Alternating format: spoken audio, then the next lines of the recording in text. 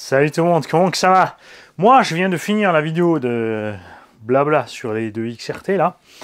Et euh, pour vous, ça sera quelques jours plus tard, donc on aura sûrement eu cette discussion déjà dans les commentaires pour ceux qui ont loupé l'histoire. Euh, j'avais en tête que 50, euh, que les miles en km/h, ça fait 1,57 quelque chose. Donc 1 km/h, 1 miles égale 1,57 km/h.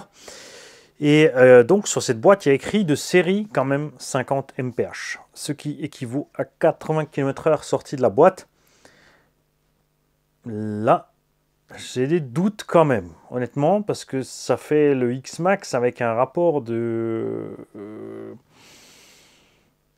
alors la couronne de 47 est être par le pignon de... Pour arriver à 80 avec le X-Max, on doit être à un rapport inférieur à 2,5. Donc ça fait vraiment beaucoup ça fait moins que 18,47. Ça fait plutôt juste vers 20,47 pour arriver à ces 80 km/h. C'est ce qu'on arrive à faire avec le Velociraptor 1000 ou le Boeing 1100 en 15, 16, 35 par là, en rapport en module 1.5. Ça paraît beaucoup. On espère qu'en temps un moment il aura fait beau, qu'on ait pu coller un GPS là-dessus. Et entre temps, nous, ce qu'on va faire, c'est bien sûr l'accès méca.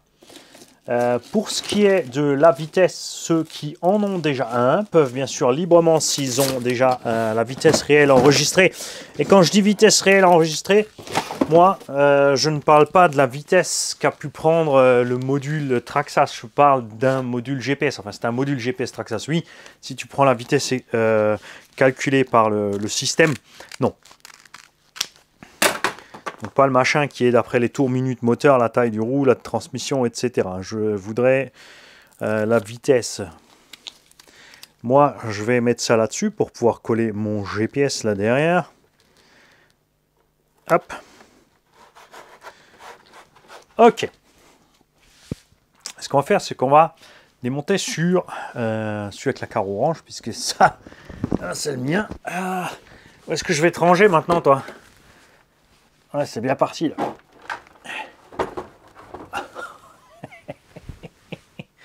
ouais, je sais, je sais. Vendu X-Max et deux, trois autres trucs. Patience, patience, on va y arriver. Alors, démontage la carreau, l'éclipse, comme on en a parlé, hein, c'est sûr. Les roues, ah, c'est pareil, tu sais comment enlever les roues, hmm, n'est-ce pas? Oh, bah tiens, on va laisser les roues dessus parce qu'on va faire juste... Euh, de toute façon, comme c'est relativement similaire à ce qui se passe sur le X-Max, beaucoup d'entre vous qui ont déjà vu toutes les vidéos du X-Max vont bien sûr comprendre. Il te faut deux outils, un 2 et un 2.5. D'accord? Nous allons enlever deux vis ici par côté sur le bulkhead avant. Deux vis qui sont situées sur le renfort de train avant et le bulkhead avant. On a encore deux vis. T'inquiète, hein, j'arrive, je vais te montrer. Euh, tiens, je vais peut-être poser ça derrière, ça sera peut-être plus simple.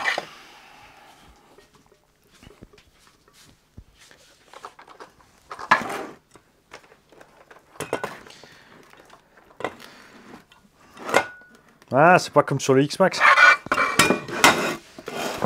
C'est un peu... Reste là. Non, il veut pas. C'est trop large. J'aime pas les voitures larges. donc je vais le tenir. On vient donc d'enlever ici ces quatre vis ici, plus les deux vis là. On va enlever, enlever celle-là. Ouais, je pourrais regarder le plan, mais ce serait beaucoup, beaucoup moins drôle. C'est pas le but de regarder les plans. Voilà. Et reste dessous. Théoriquement, on a ici le train avant. Le bulkhead avant, regarde cette découpe qui est pris avec une partie du skid là. Donc ces deux-là.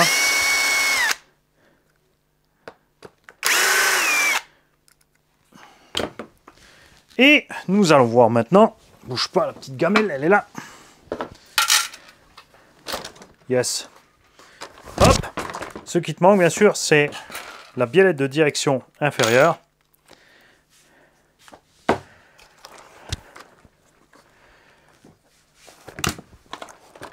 Enfin, par là-dessous. Euh, on doit pouvoir l'atteindre par là ou là. Bouge pas. Si on te met la direction dans le bon sens, quand tout est en place, est-ce qu'on accède à cette vis par le dessous Ah, même pas.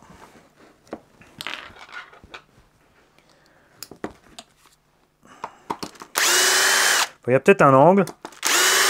Nous, de toute façon, on doit enlever le ski parce que je vais vous montrer évidemment où est le cerveau.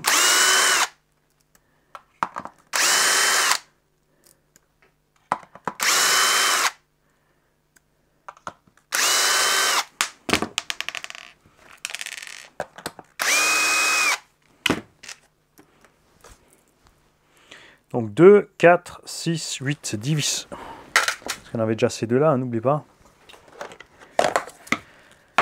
Cerveau de direction donc ici. N'oublie pas bien sûr d'ouvrir la boîte radio pour sortir le câble. On a énormément de place là-dessous.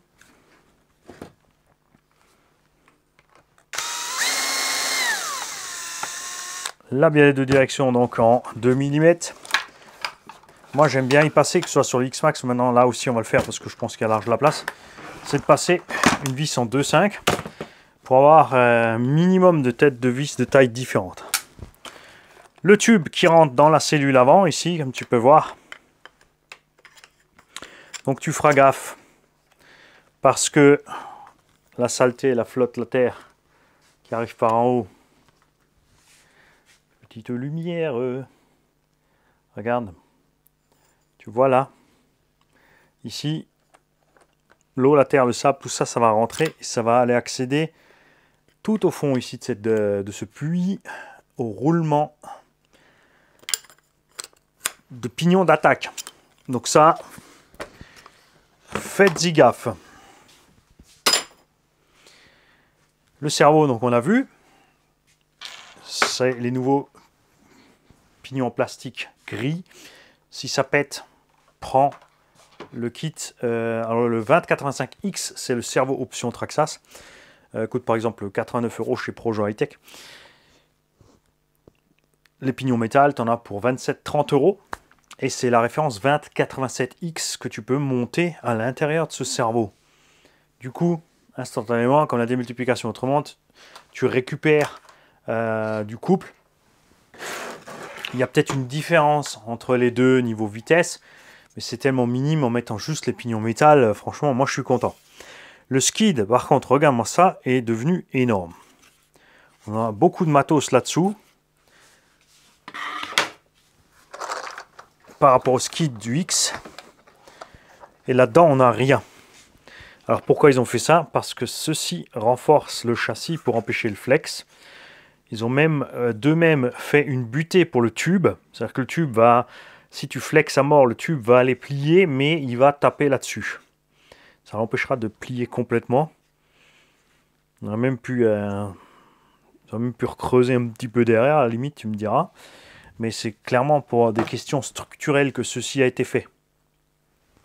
Et ici, tu as donc le petit palier arrière dont je te parlais dans l'unbox, avec le petit feutre magique. Donc ça ne protège pas l'avant, mais uniquement l'arrière, cette histoire de feutre.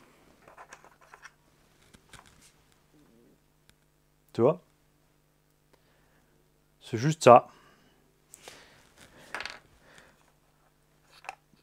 Bien là, on a bien sûr le même pion double mal pour entraîner le tube. Et question bête, passe pas à travers le feutre. Résultat, tu dois mettre ceci avant de mettre ton feutre. Euh, moi j'aime bien mettre toujours un petit peu de graisse là-dessus, donc je vais le remonter plus tard. Euh, un petit peu de graisse là-dessus pour éviter euh, c'est un peu de flotte qui arrive, qui se grippe entre le tube ou le diff central, qui est ici bien sûr. Parce que si ça grippe, ça va tirer sur la tronche d'un ou l'autre élément mécanique évidemment.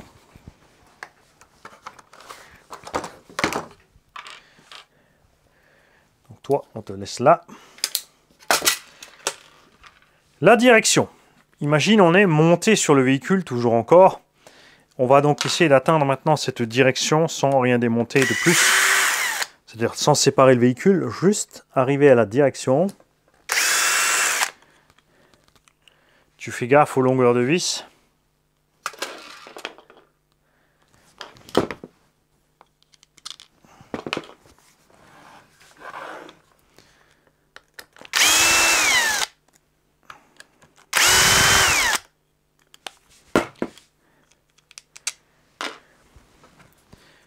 Voilà, c'est tout. Puisque le filet n'est pas dans la tourelle, mais dans cette pièce. Donc, on est monté sur le véhicule. On aura donc 4, 5, 6, 7, 8. Là aussi, gaffe aux longueurs. 9 et 10 vis. 11.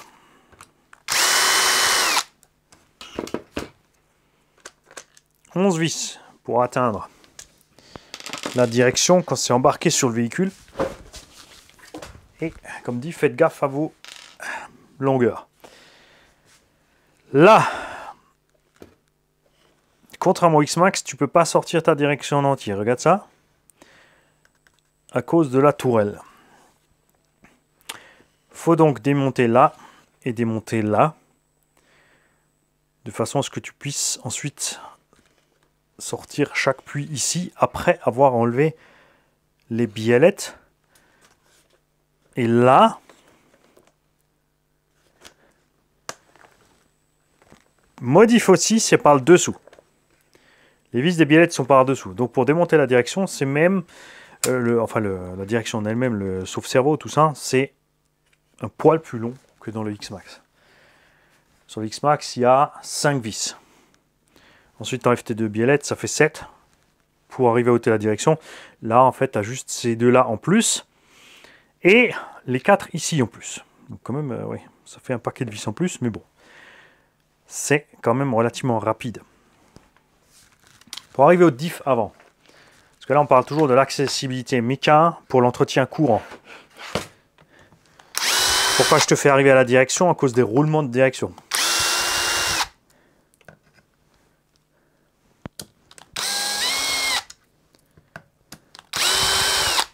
Donc là, 4 vis pour basculer le skid. Regarde. Et toujours les 5 mêmes vis pour arriver au diff. On va pas le faire, vous savez comment ça marche. Donc toujours effectivement que 9 vis uniquement pour atteindre le diff avant. À l'arrière, on va voir ce qui se passe avec la tourelle. Donc vraiment très simple. Hein. Rien de sorcier. Le plus long, mais là, franchement, moi j'y vais vraiment rarement, c'est le pignon d'attaque ici qui contient deux roulements. Le roulement avant peut sortir par devant. Une fois que tu as sorti le diff, tu sors ton pignon d'attaque et ton roulement. Mais le roulement arrière qui est au fond de ce puits ici, lui c'est le plus long à atteindre. Il faudra bien sûr faire la même manip que pour enlever le diff avant. En plus de ça, il faut séparer les deux axes de triangle supérieur, ici, et ces deux vis là. Du coup, la tourelle entière va monter et tu vas pouvoir aller le bulkhead supérieur avant, qui est cette pièce, pour pouvoir atteindre ton roulement. Pourquoi faut séparer? Parce que là-dedans, il y a les tiges de bras de suspension qui passent à travers, regarde, là, tu vois, la pièce gris clair, ça fait partie de la tourelle de suspension. La noire à l'arrière, c'est le bulkhead supérieur arrière. Donc si tu sépares pas ça, tu ne peux pas déchapeauter en fait pour atteindre le diff. Donc maintenant qu'on a profité pour le démonter, ce qu'on va faire bien sûr, c'est tout de suite mettre de la graisse ici à l'intérieur. Là, moi j'aime bien y mettre, euh, là j'y vais vraiment. Là je mets euh, ma seringue de graisse et je remplis et je plante mon tube. Comme ça, les chances que de l'eau ou vraiment de la saleté arrive au roulement sont très très très minces. Ce roulement de la direction là se démonte par là-dessous. Donc plus ça va, il est relativement hors de portée. Il faut vraiment que l'eau ruisselle dedans pour aller euh, l'atteindre. Je rappelle que perso, maintenant si c'est un véhicule, je sais que je vais rouler dans la flotte, je vais le démonter et toutes les portées de roulement, je vais y mettre du gras pour que les pièces du roulement extérieur qui peuvent rouiller soient protégées, tout simplement. C'est pas un produit miracle, ça ne tiendra pas des plombes, mais ça va quand même aider déjà beaucoup. Le tutule. Pour séparer le tutule, nous avons ici un nouvel obstacle, à savoir ce double ventilo. Parce que il y a quatre vis là, à côté du moulin.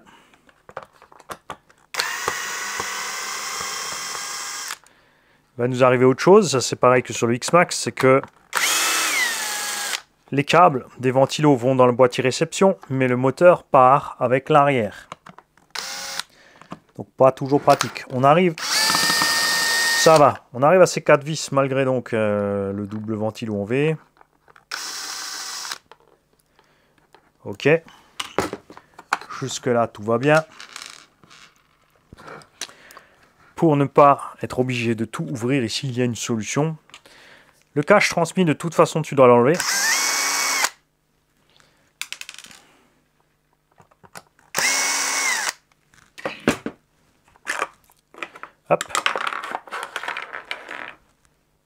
Du coup, ce que moi j'aime faire pour me simplifier la vie, c'est enlever les quatre vis du moteur en dessous et laisser le moteur avec le vario. On a quatre vis là.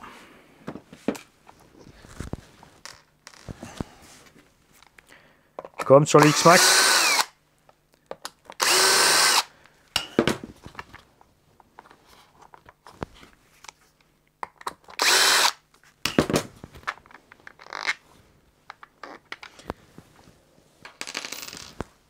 Non, attention.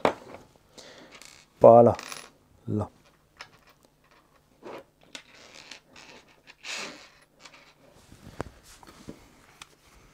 Encore deux là.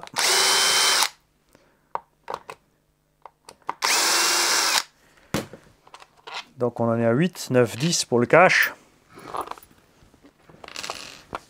Quand ton skid plate inférieur est monté, faut bien sûr aussi enlever... Ah non, regarde, lui, il est intégré. On n'a pas les vis là. Regarde. Celles-ci sont dans le châssis.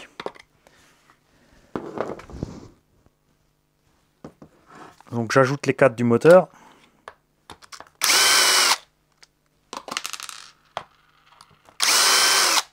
Donc faites attention, hein. tout à l'heure je parlais de la vitesse, parce que ça veut dire si tu mets les sledgehammer, tu vas te retrouver vers les 90 km h Donc supérieur à la vitesse où Big Mama a fait le triple backflip. Hein voilà. Donc supérieur à la vitesse où Big Mama fait le triple backflip, puisqu'on est à 80 km/h avec le Velociraptor. Ce qui fait que si tu prends un, un sledge, j'allais dire un XRT d'origine, avec les roues Sledgehammer, euh, tu devrais pouvoir rentrer ton triple. Dans le moteur, toujours, on a les petits plots ici. Par contre, ils en ont mis 4 au lieu de 2.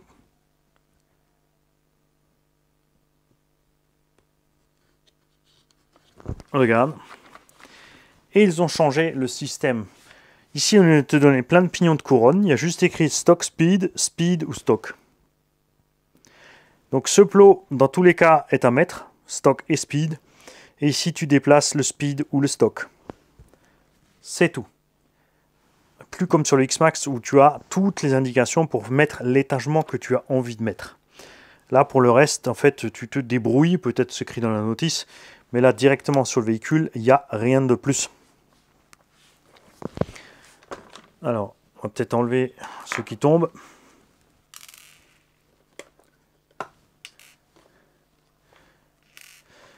Hein, donc moteur et couronne qui sont montés sur la même plaque. Pour ça qu'il n'y a pas de flex entre les deux. On a toujours cette pièce ici, pas de panique, qui se balade un petit peu. C'est normal, ça fait partie du jeu. jeu partie du jeu. Pour accéder au diff arrière, même manip malgré l'aileron. Peut-être que l'aileron va gêner quand on va euh, relever la plaque ici.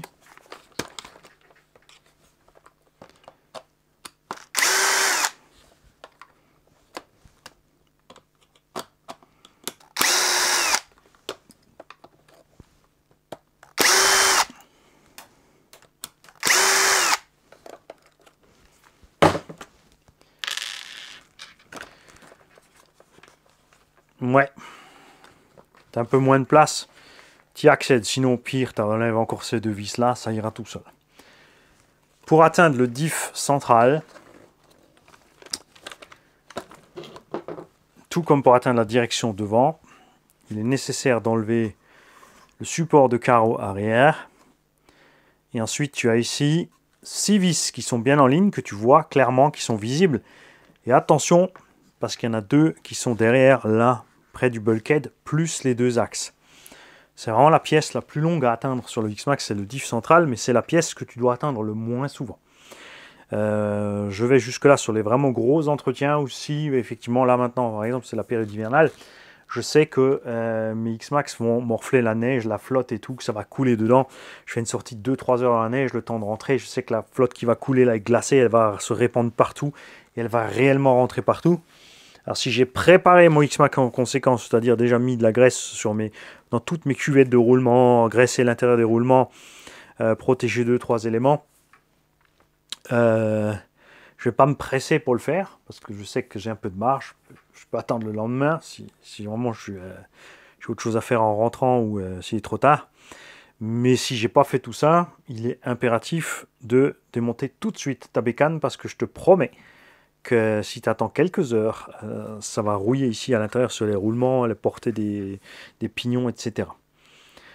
Comme tu peux voir, même si c'est un gros bébé, même si ça a l'air compliqué par rapport à ceux qui sont habitués à travailler sur des 1 8 ou des gros 1 5 finalement, l'accès des éléments, à part le diff central ici, euh, ça va plus vite que... Euh, la direction, ça va tout aussi vite, par exemple sur un Loose DBXL.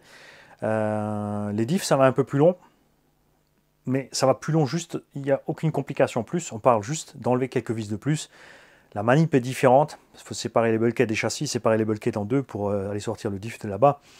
Mais globalement, euh, relativement simple. Il nous a fallu quoi là, quelques minutes, là, euh, une vingtaine de minutes, pas autant pour arriver à ce stade-là, à ce stade de démontage. On n'a pas sorti le diff arrière, mais tu as vu comme ça va pour l'avant, les 5 vis sur le carter. On va dire que globalement, en 30 minutes, tu as désingué en trois parties principales ton X-Max. Pour aller faire ton entretien, tu peux laisser tout l'électro ensemble ici, tu vois tranquillement. Si tu veux pas aller tremper ça, euh, ton cerveau c'est pareil, hein, il, reste sur la platine. Donc tu as vraiment l'électro séparé ici. Euh, une fois que tu as enlevé les roues, il y a aussi beaucoup plus de place. Quand tu as enlevé les skids et le pare-choc, euh, c'est aussi super facile puisque c'est une grosse pièce là derrière qui se démonte super facile. Il n'y a rien de sorcier. Il n'y a rien de vraiment plus que dans le X-Max, à part ce petit feutre. Ma foi, c'est tout. Pignon d'origine, on est sur du 20. Et la couronne, qu'est-ce qu'ils nous ont mis? 50.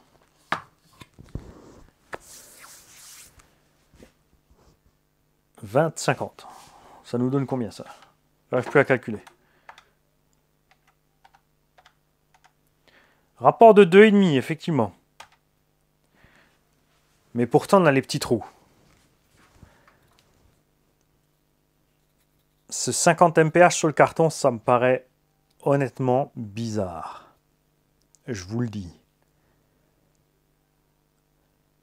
Parce qu'en 20-50, avec les grosses roues, le X-Max arrive à 80. Lui, il a les roues plus petites. Pas persuadé de cette histoire. Sauf s'ils ont bidouillé un truc à l'upgrade euh, du Vario et qu'ils ont mis à la fin des gaz un coup de 10, 15, 20 degrés de timing peut-être à ce moteur pour qu'il puisse aller chercher, les tours, ce qui expliquerait aussi pourquoi euh, l'engin euh, fait facilement des backflips avec ses roues d'origine quand même. Hmm? À voir, à voir, à voir. Euh, pendant l'unbox aussi, on a causé porte fusée avant et on a oublié les arrières. Derrière les portes fusées.